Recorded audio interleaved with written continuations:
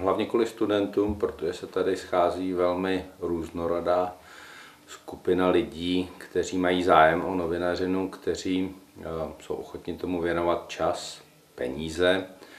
A je to z tohoto pohledu eh, zábavná práce, která přináší něco mě a doufám, že i našim studentům a myslím si, že eh, se tady naučí mnohem více než někde za rok školy.